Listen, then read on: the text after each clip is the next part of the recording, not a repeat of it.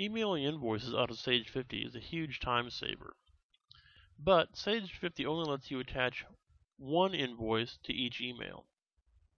Now you could go ahead and send multiple emails when you want to send multiple invoices to a customer, or you could launch an email, right click on the attachment, save it, and collect all those attachments until you you know until you have one for, for each invoice, then finally manually attach all those to an email at the end. But there's a workaround that, that I think is is pretty effective and it involves using a PDF tool called PDF Redirect. I know there are a lot of uh, of free or, or low cost PDF tools around. Uh, this is one that comes in both a free version and a paid version. Like most PDF tools, it sets itself up as a printer in Windows. So instead of clicking the email button here, you're going to click the print button. You want to make sure that your printer is set to PDF redirect. Now click the print button and the PDF redirect window will appear. So you'll want to give it a name.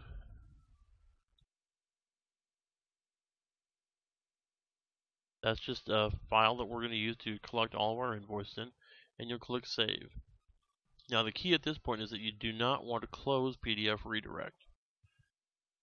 You'll just go back to Sage 50,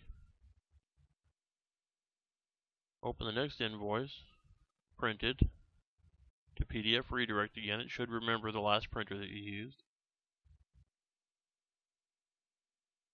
And save that. And you notice that each time another entry gets made here on the merge list and the page count goes up over here on the preview.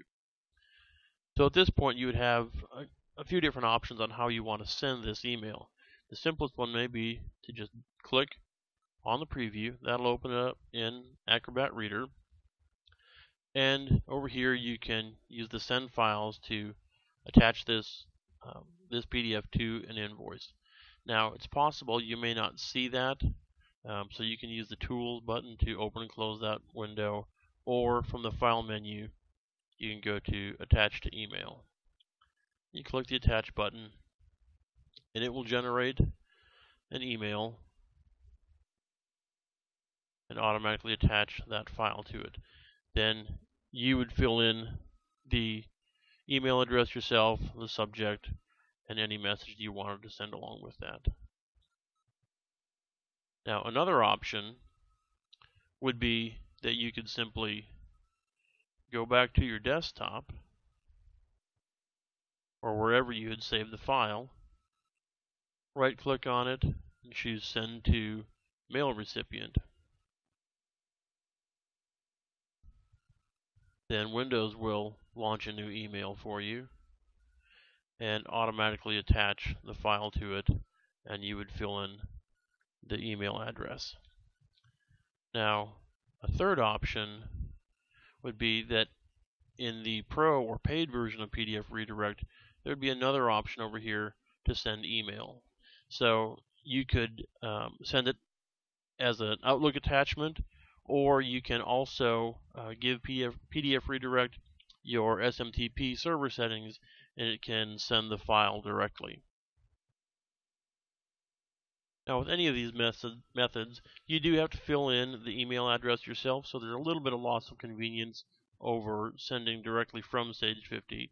But since Sage 50 doesn't give us the option of attaching multiple invoices to one email, I still like this better because then if somebody got one of the invoices, you know, they got all of them because they're all in one file.